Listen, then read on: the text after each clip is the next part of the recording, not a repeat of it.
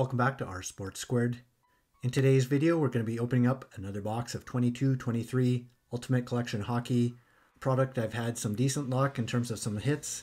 Let's cut open the box, get the pack out.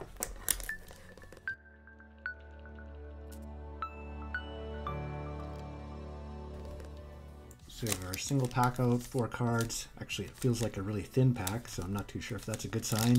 Could be a redemption in there. Open the pack. See what we do have. Ultimate Rookies out of 299 of Carson Meyer on the top. Should be a jersey card on the back.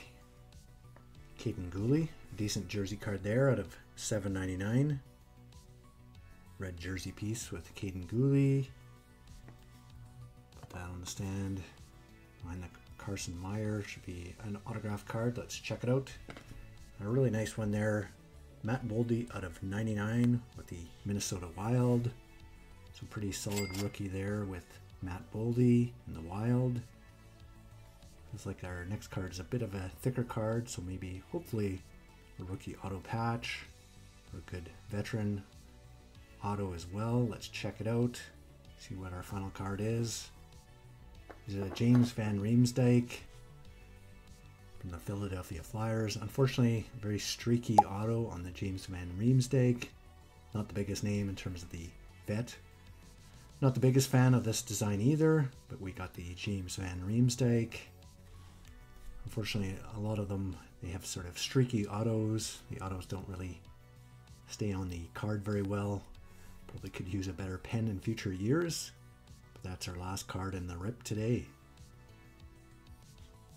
Thanks for watching our 22-23 Ultimate Collection Hockey Rip. Just a quick rip today.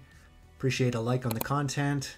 Did pick up two nice rookies with Matt Boldy, a nice on-card autograph from Matt Boldy, and also a Kaiden Guhle jersey card was pretty solid as well. Unfortunately, the James Van Riemsdyk auto was kind of messed up in terms of the streakiness, and then we picked up a Carson Meyer, not the best rookie there. But nice to get a cheaper box than the 23-24 products. Let us know in the comments below what you thought. Really appreciate you stopping by. Take care, and we'll see you next time.